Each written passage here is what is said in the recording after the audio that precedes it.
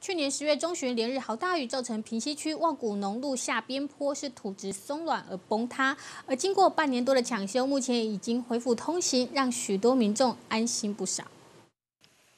平西区望古农路是当地居民通行的联络道，目前已经抢修完成。而回忆起在去年十月雨下不停，导致山区土质含水过高，变得松软，望古农路部分路段因此崩塌，道路完全中断，让不少当地居民都余悸犹存。烦恼到要死。啊，今麦修理好啊，有靠保障。有啊。平常居民除了一零六以外，也经常使用这条道路。那可是这个望古农路接近角龙桥这一段哈，在去年十月的时候，因为大雨好大连续好大雨关系，发生崩塌的状况。那公所呃在当天也立刻做了一个封路的一个呃措施哈，那并积极协调哈。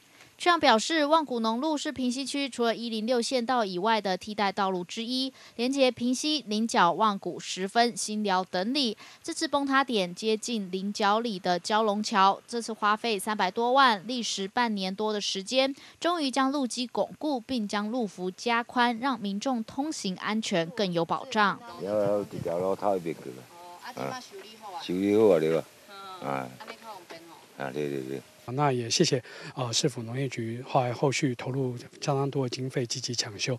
那在最近的时候，在五月初的时候也顺利顺利整个复建完成哈。那让居民有一个非常安全也非常便捷的一个联络道路。当地居民也表示，去年道路崩塌真的吓到了，因为就住在路旁边，生怕自己的住家也会受影响。幸好目前望古农路已经抢通完成，还有民众因为道路中断，总是要绕道而行，很不方便。现在抢通后更好行了。